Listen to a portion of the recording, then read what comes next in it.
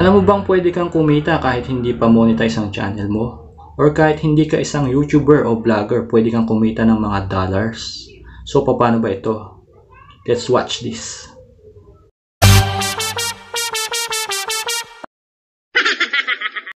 So guys, ito yung tinatawag na affiliate marketing na pwede kang kumita kahit hindi mo ito uh, binebenta, no?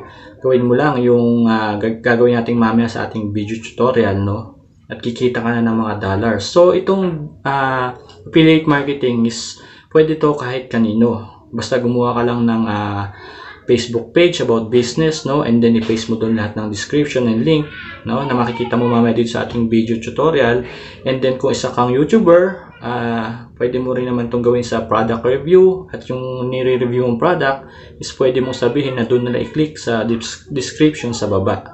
So napakadali lang. Paano ba to? Kaya simulan natin guys. At sana tapusin mo yung video na to. At tara na, simulan natin. So ayan guys, ang una natin gagawin is open our browser and then i-type natin yung Involve Asia. Ayan, type natin Involve Asia, then enter. And then ito po yung uh, ano ni Involve Asia, site ni Involve Asia. So dahil mag-a-apply pa lang tayo, no, ang uh, kiklik natin dito is itong become a publisher. Ayan, so ako naman, uh, dahil nakapag-apply na ako at na-approve na ako, meron na ako ditong uh, account. So ang gagawin ko lang is magla-login ako. Ayan, so login.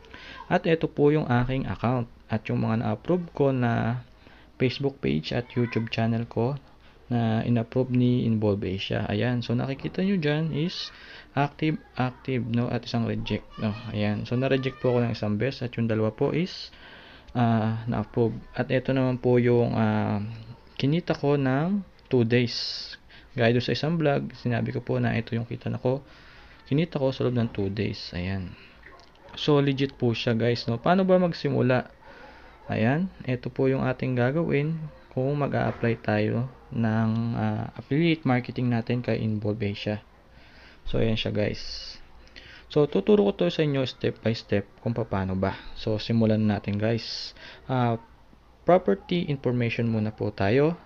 And then, dito po sa may bandang name of uh, property, yung pangalan ng uh, Facebook page na gusto natin or ating YouTube channel. And then, sa platform URL, dyan po nyo ilalagay yung link ng ating uh, Facebook page or YouTube channel na inyo pong i-apply. And then sa property description, kung ano po yung ginagawa nyo, kunwari po, ayan lang, kagaya po ng sa akin, I sell all kinds of online needs such as party needs, clothes, shoes, food, kitchenware, household, etc. Ayan po.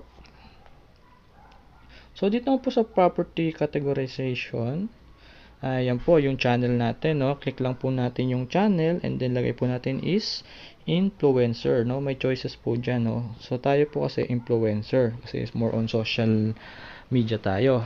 And then, ito pong type of advertisement natin, no?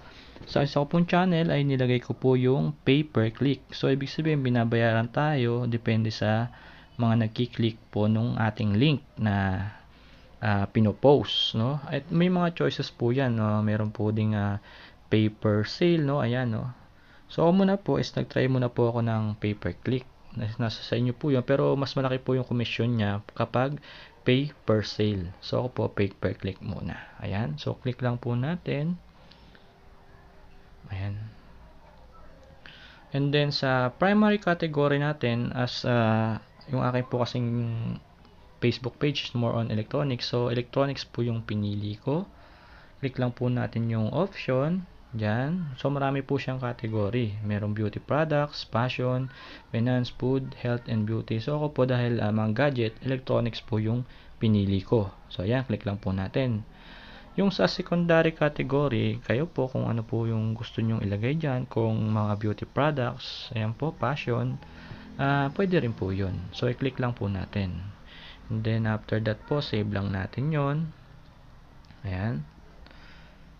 Beauty product. Ayan. So, and then sa traffic information, dito po sa pangatlo po natin, ayan po, yung mga traffic acquisition method natin. Yung po yung mga ano, display network, email, lead generation, network, and PPC branding. Ako po, kinlik ko po siyang lahat. Pero nasa sa inyo po yun kung gusto nyo isa lang or gaano karami. And then after that po, uh, i-click po natin yung uh, ito po campaign tools uh, use. So, so, tayo campaign. And then after that, yung merchant or ako po nilahat ko rin po ito. Kayo po, nasa sa inyo po yun. Mababasa nyo naman po dyan kung paano kayo mag-a-apply. Ayan. So, ayan. Add format, merchant page, YouTube channel, Facebook page, Instagram post. So, kung ano po yan, na pili nyo po, uh, next na lang po natin. Okay na po yan. Dito sa premium inventory naman po, uh, dyan po, laging no lang po yan, no. And then, save na lang po natin. Ayan, no. And then, save. Ayan. So, ito po yung, uh, yung outcome ng aking uh, affiliate marketing na approve ni Involve Asia. Ayan po, makita nyo yung aking Facebook page na gadget. Electronic Gadget Philippines, uh, active yan. Jobinito Vlogs ko, YouTube channel po, ayan, active din. At yung una ko po is na-reject. Ayan. So, pag na approve po tayo ni Involve siya makaka-receive po tayo ng email sa ating uh, uh, Gmail. Ayan po ang sinasabi. Ayan, ganyan po ang marireceive nyo. At ito naman guys yung uh, itsura ng platform kapag na-approve tayo ni Involve Asia sa ating uh, affiliate marketing. So meron tayo dito uh, sa Shopee, ayan, Shopee PH. So yun nakikita nyo kasi active tayo na approve nakalagay dyan Shopee PH active dito naman sa bandang kanan may makikita tayo dyan uh, preview site yung get link o, so dyan tayo ano magpe-paste ng link at i-generate natin kagaya dun sa isa nating vlog So makita nyo yung description sa baba kung paano tayo kikita gamit yung generate link ni Involve Asia. So ayan. Ito guys yung example. So yung kanina kasi uh, generate link na yung nakalagay kasi approve na tayo.